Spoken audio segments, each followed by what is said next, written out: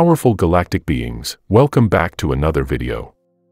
No matter how much you thrive in your social interactions, how many accomplishments you achieve, or how much good you spread into the world, you are bound to have naysayers. It's a harsh reality that some people detest when others succeed. Haters are those who underestimate, undermine, or belittle your efforts. Whether you achieve something grand or remain idle, there will always be someone hurling negativity your way. These people cannot be tamed, but you can certainly give them something worthy of their conversation. These kinds of folks are fueled by jealousy and malice. Your shortcomings give them more pleasure than their own successes. These detractors consider everything a zero-sum game and envision scarcity and limitations everywhere. Haters can be likened to the envious folk because the same reason that triggers envy also makes them detractors of your achievements. If you excel, they feel it takes away something from them and no one truly feels happy when they believe something has been snatched from them. Whenever you pursue your joy, you will inevitably encounter individuals who are unhappy with your progress simply because it's not in line with theirs. Envious critics create an illusion that your every stride sets them back. For those looking to upgrade their lives and advance towards significant goals, encountering resentment from envious people can be a heavy blow. People will often project their insecurities on you. Haters will hate, and unfortunately, there's not much you can do about it. However, today I'm here to shed some light on why these people are the way they are and to offer some practical tips for dealing with them. Though not extensive, this list contains the most probable reasons as to why you're suddenly being met with hostility, especially from people who were once dear to you. Remember that haters will hate when you get better, so go out there and prove them wrong. Success breeds envy, my friend. If you're crushing it, haters are bound to be seething with jealousy. When you outshine them, they can't handle their loser status. Even when you don't fail, they're hoping and praying that you do. And if you evolve, they won't. Guess what? They'll still find a way to hate on you. Here's the thing, everyone wants to live the high life, but only a few are willing to put in the hard graft to get there. Well, Guess what, sunshine? You're in the right place. You can learn how to get your act together and snatch that sweet life you've been dreaming of. But beware, those haters will always try to drag you down instead of lifting themselves up. It's the quickest way to get haters, just flourish at what you do. My boxing coach always used to say, if you want friends, don't be successful. Sound familiar?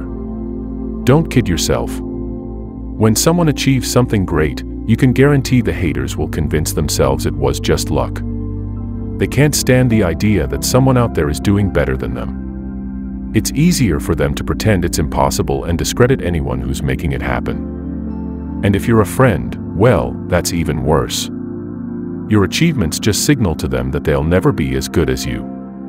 They might pretend like they're rooting for you, but deep down they're smugly patting themselves on the back for being superior to you. So, go ahead and improve your life, but be ready for the haters to come out of the woodwork. They won't be able to resist trying to bring you down. But you know what they say, haters gonna hate.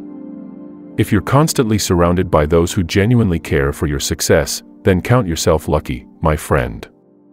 You see, close friends and family have an invested interest in your prosperity. However, those casual acquaintances, the ones who rely on the social order to maintain their self-esteem. Well, they will inevitably feel the need to drag you down. When you make strides in moving up the social ladder, their jealousy will rear its ugly head. And let me tell you, it's not because of your actions, it's because you remind them of what they're not doing.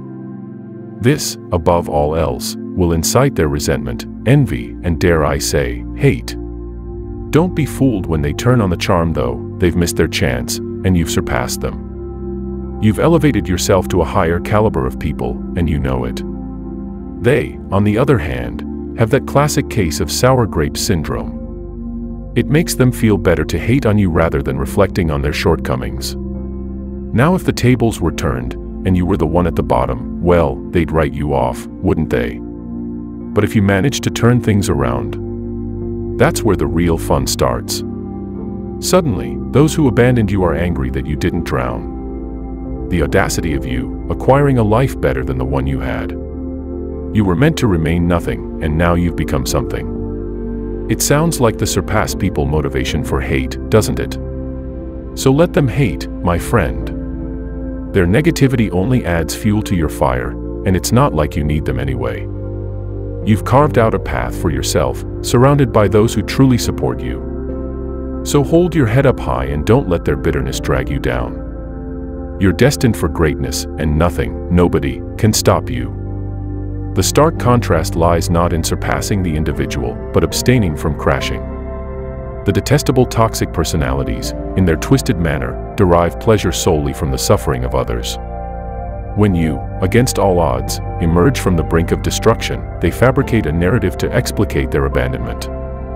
They cannot admit that you have transformed into a better version of yourself and instead vilify you as the malicious protagonist. Though you may not have captained the ship, you acted as the first mate, and the vessel was bound for ruins. After gaining some sense, you jumped ship and henceforth were condemned as the most loathsome entity by the crew you deserted. The fact that you acted in your self-interest and became an improved person holds no bearing to them, you are now a backstabber.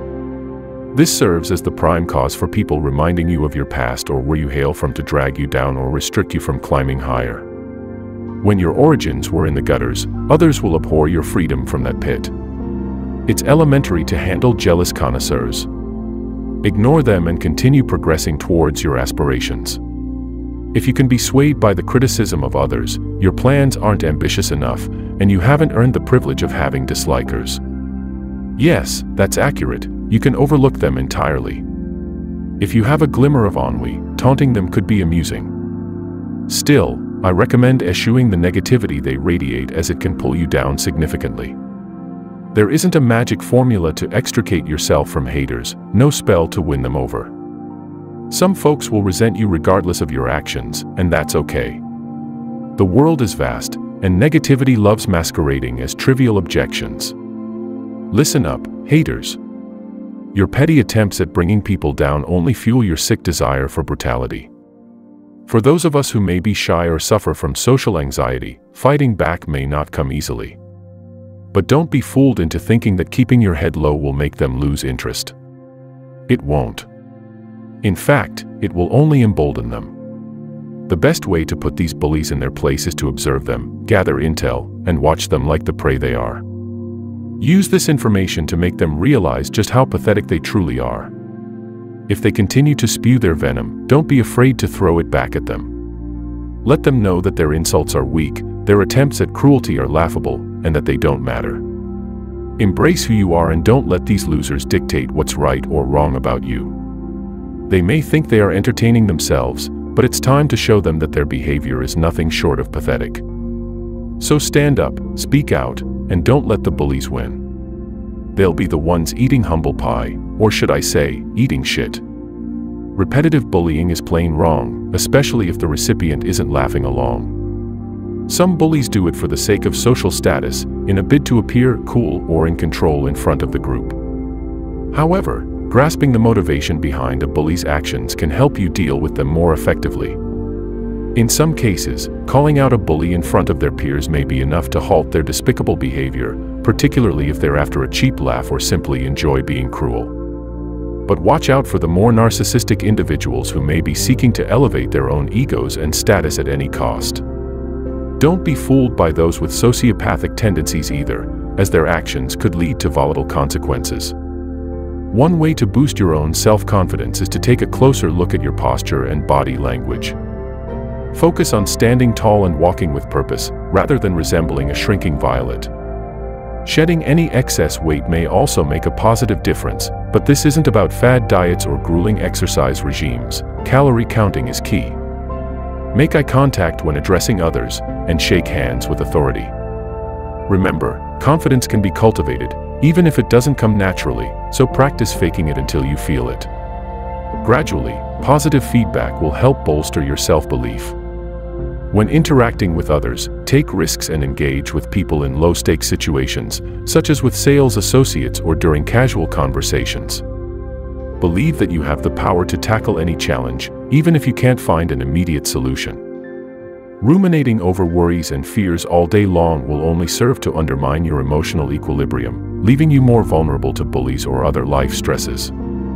Remember, bullies are often motivated by low self-esteem and a desire to exert control over someone else. Don't let them prey on your own lack of confidence. Stand up tall and don't let them bring you down. The ultimate weapon against haters is not to fight fire with fire, but to embrace your inner strength and bask in your own awesomeness. It may seem like a daunting task, wrestling with self-doubt, but with a little perseverance, you'll be amazed by how far you can go. If a hater attempts to ridicule your love for books, for instance, fear not. When you're comfortable in your own skin, you can boldly show off your passion and confidently own it. The naysayer's attempts to bring you down will fall on deaf ears, and you'll radiate an air of unassailable confidence to those around you. Of course, while it's essential to love and respect yourself, it's equally important to protect yourself from the negativity of haters.